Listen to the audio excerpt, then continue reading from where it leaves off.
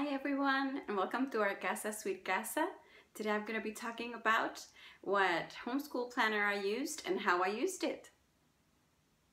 Come on in. Come on in. Come on in to our casa sweet casa. Alright, so talking about homeschool planners. When I started uh, homeschooling, our first first month starting out, I was just using pen and paper for my homeschool planning, and that is fine. Uh, I just actually drew out the lines for the chart myself and just wrote in for each of my girls what we are going to be doing. Um, I had a six and a 10 year old starting out. They'd been in regular school for the whole life when we were homeschooling, and then I just started homeschool planning for the first time and that's what I did, pen and paper, and you can definitely still do that, pen and paper, do your own grids. Uh, but when we were going to start in August, our first uh, formal whole school year of homeschooling, I wanted to get something a little bit formal. I love anything that is an office supply or a notebook. So I just had homeschooling, another reason to get another planner, another notebook, and I definitely, definitely did not want to let that uh, pass by. So I wanted to get a homeschool planner. And um, so I looked, did my due diligence and looked around, saw wonderful videos about planners and how all the homeschool moms were doing it. And I saw many that were uh, do-it-yourself planners. And I knew that that was probably best for me, do-it-yourself. But starting out, I kind of wanted to go with uh, something ready-made to see how it would work out. So after doing my research, I decided on the Ultimate Homeschool Planner, a planning system designed by Deborah Bell, and was uh, it's by Apologia. I'm trying to remember exactly what were the reasons why I picked it. Uh, I liked that it was large. Um, I liked that it had some inspiring quotes. It has a, I'm gonna flip the camera in a minute and show you uh, closer, but uh, just to give you a, a run through on the reasons why I decided on it. Um, I like that it was made for homeschooling. That was new to me. And it had a year layout, like this grid. It had instructions on how to use it. As you'll see, there are empty pages, and I'll talk about that. And it had a, a year view I mean monthly. And then um, it was already, oh, I think this was my favorite thing about it, and I'll show you. Uh, I like that it these were blank. These were blank and these were blank, so I could do my own, and they were weekly. And so I liked that it was uh, Christian and it would have quotes and and things like that. So I thought uh, that would be useful. And so what I decided to do for this video is that I'm gonna flip the camera and I'm gonna kind of combine uh, how I used this planner and why I'm uh, looking for a, a, different option and how it worked for us and also I'll show you how I used my uh, Spanish lesson materials that are not made for homeschooling, how I planned them out in this planner. All right, so why am I showing you my girls' desks? Well, my planner is a dual or triple purpose planner. I don't do student planners, at least not yet. And so there it is um, between their desks. That's how I would use it. I would plan it out and fill it out what we were doing, and then I place it in the middle of where they would be sitting. And my oldest goes on this side, and my youngest goes on this side, and that's how I would lay it out. Uh, right now, and for now, I'm not interested in having to fill out uh, planners for each of them, at least until they can do their own. So I use my planner to let them know what they have to do for that day. Your moms might cringe, some of you, to let your precious planner uh, in the hands of your kids, but it hasn't been that bad. I've only gotten paint on some pages at least once. Sorry if that makes you worried, but I uh, they've been good about it so far, and it works for me just to have it all in one place, and I sit between them most of the time, and then we both, all three of us have on hand what we're going to be using. So one of my favorite things, I'll mention this at the end, but one of my favorite things about this planner is that it it's in blank. this the both all of these fields they come in blank. So I came up with my own way of doing it. And this is just to show you how I did it.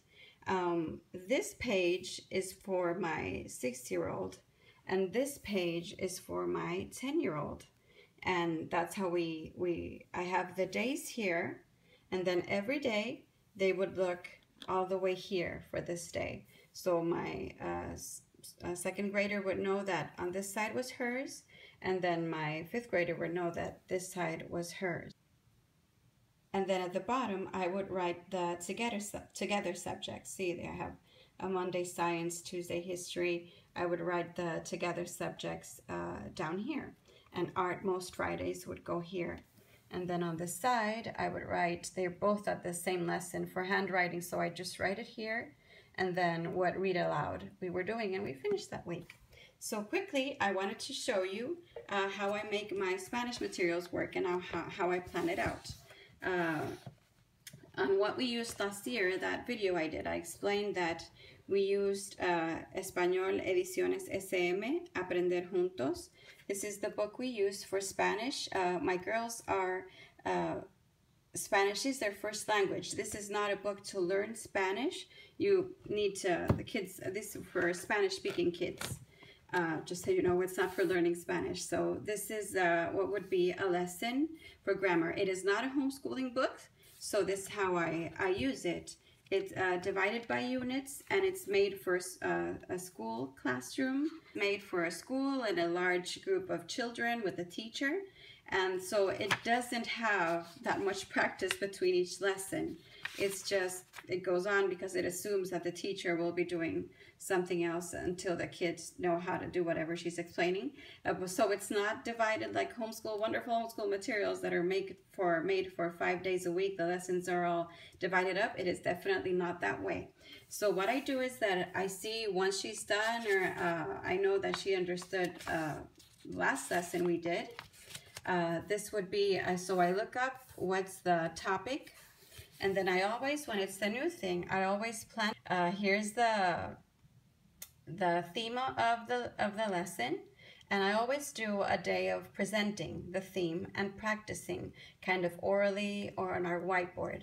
So I always plan a day for that instead of going right into what's in the book. And then if she's fine with that, uh, we move on to uh, using the actual book. So I mark, I write down what page she would be doing and then we usually do this together, unless on the first day she really got it right away. Some days she could do it on their own. So that's those are the days that I, the I mean the page numbers that I wrote down for her. And after that day, you can see that I then use the workbook. This uh, Spanish book, uh, you can get a workbook too, which is usually a very short page, just one page of extra practice, but we definitely use it. And she uses it at a practice. I mark out what she needs help with. And, um, and then we, I know that she needs extra practice. So I, I do a review, repaso, that means review. And I usually look something up online and get a printable page. There are not that many resources for Spanish speakers, but I can usually easily find one and I always write down the website where I found it.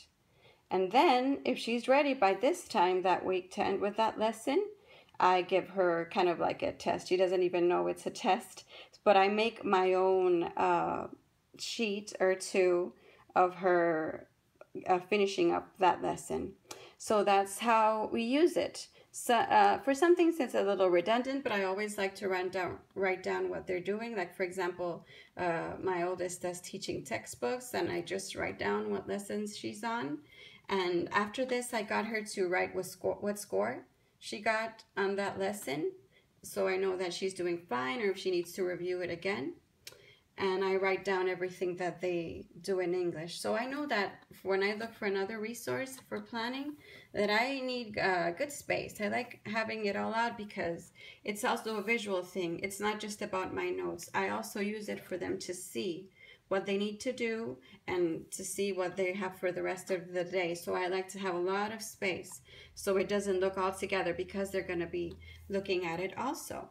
So that's the planner I've been using. Like I said, it's the Ultimate Homeschool Planner. And I'll talk a little bit about why I've now have the confidence to um, kind of uh, do my own thing with what I want to do with it. I think I will keep this layout and it's been really hard to find uh, planners that have both of these fields uh, blank because I do having like having it opened up and laid out for them to both be able to see on each side of their desk what uh, they're going to be doing. And it's a dual or th- uh, three times purpose uh, planner, and they've been very nice about uh, keeping it neat and tidy. So I also have it for posterity, and it's not ruined. So that's how I've used uh, this homeschool planner this last year. All right, so let's talk about the reasons why I'm looking for something uh, different uh, uh, for planning my homeschool. Basically, I discovered that I'm a minimalist when it comes to planners, or at least homeschool planners. Uh, I use my I use my phone for my personal planning, and I know that for homeschool, I like just having something on hand. And as you saw, um, we use it also for my girls as students. So I need something that's hard copy for our homeschool planning. And I like the layout, like I explained. Uh, what I didn't like is that, well, I just want the weekly pages and the monthly pages. Uh, I wish I would have used these character goals, academic goals pages, and actually the resource list, I did a separate thing in their binder, so I don't need that. And then in the beginning of each month, or at the end of each month, I can't remember, there's like a Bible plan, battle plan, prayers, hospitality, and I'm sure that's very nice, but I just didn't fill it out. It, it just wasn't something as part of our homeschool that that I would use. And it's a shame but it's my reality so I don't I don't need the extra pages if I'm not gonna do it. And there's this page with this week's memorable memorable moments achievements evidences of grace. So um, I tried I tried let me see if I can find there were yeah I tried some pages to fill it out. And it would be wonderful to kind of uh, record those things. I'm definitely not against recording things like that. But as part of a homeschool planner, I discovered that it's not really something I'm going to use, so I would just skip that page and go into the weekly plan. So what I'm planning to do is now I have a little bit more confidence now that I've been homeschooling for a year and I am going to try to do kind of like a, a semi-homemade uh, homeschool planner and kind of like get something that I like from a planner, but then add in uh, my specific grid that I would like for my girls and what has worked for us. So as most things in homeschooling, one of the most wonderful things about it, you learn as you go along what works for you, what works for your kids, and definitely what works as a homeschool planner. So that's how I planned and the planner I used this past year. Hope you enjoyed it. And I would love to know what you used and any recommendations you might have what worked for you. Any questions, let me know. Thanks for watching and we'll see you soon.